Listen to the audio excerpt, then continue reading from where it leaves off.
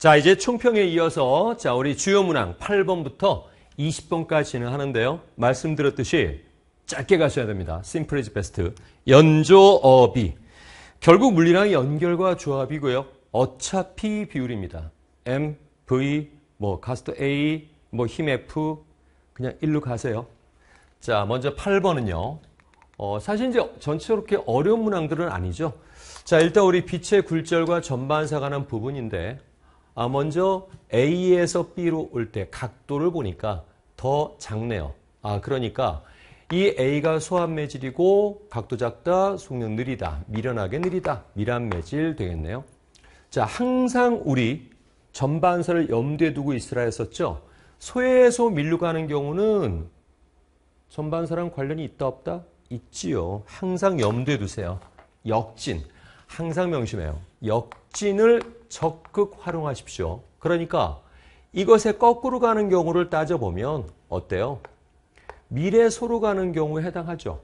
그리고 투과한 빛이 있어 버리니까 전반되지 않았다는 것이고 역진 상황에서는 이 입사각 45도보다 임계각이 더 컸으니까 45도가 임계각보다 크질 못하니까 그래서 전반사 되지 않고 일부 투과했다. 이렇게 얘기 되는 부분이겠죠. 일부 반사도 있죠. 역진했을 때는.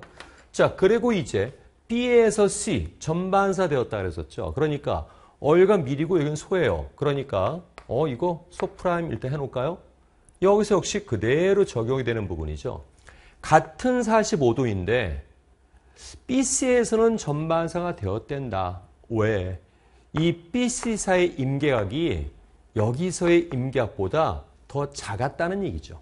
아 그러니까 B와 C의 굴절 차이가 더 컸다는 얘기입니다. 결국 더 소합니다. 라는 결론은 자연스럽게 순서대로 나오는 거죠. 자, 그리고 이제 다시 이제 D 매즈를 진행할 때 보니까 어, 여기 각도가 입사각에 비해서 굴절각이 작아졌죠.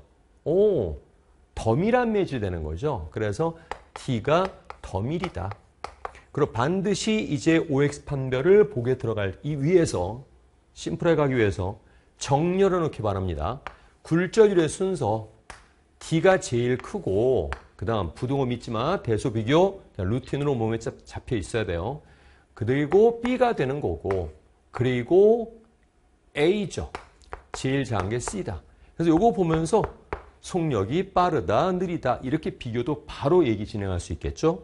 자, 그럼 이제 기억 니은등 해결돼서 기억은 B와 C 사이의 임계각은 45도보다 작으니까 전만에서 일어난 것이죠. 그래서 작다가 돼야 되겠네. 기억 틀렸고 니은드긋 다 이제 OX 판별 이루어져서 해결되죠. 선택지 4번이 정답이다 라는 것.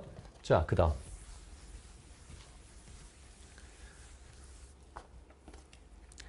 자, 9번은요.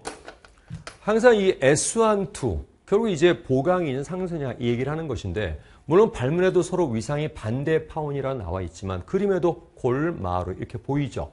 이 S1, 2 사이에 수직 이등문선은 자 어때요? 마루골 골마루 마루골 골마루 어때요? 이건 상승한 섭이죠. 근데 이제 S1, 2 같은 경우는 진동수의 변화를 주었다고 했습니다. 어, 둘의 속력 똑같고 진동수 EF.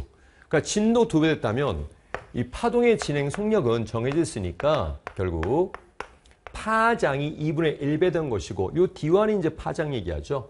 그러니까 파장이 반으로 줄었습니다.를 얘기를 하는 부분이고요. 그러니 간섭 간격도 줄어드는 거죠. 역시 S1, 2 사이에 어, 이거는 위상이 똑같다고도 발문이 있었고 여기 마루가 바로 보이죠. 그러니까 이 수직 이등문선을 보면 여기 골골 마루마루 골골 마루마루 이 지점은 어느 지점이건 위상이 똑같게 만나서 보강 간섭이 가능한 이 지점을 얘기를 하는 거죠. 그리고 개수를 셀 때요. 이거 뭐 여기 뭐 보기 중에서 몇 개 몇개 묻는 게 있는데 바로 봐야 돼요. 이 가 같은 경우는 정중앙이 상쇄한섭이기 때문에 상쇄한섭은 S1, 2 사이에 홀수계, 보강한섭은 양편에 존재하니까 대칭으로 보강한섭이 되는 수는 짝수계. 나에서는요.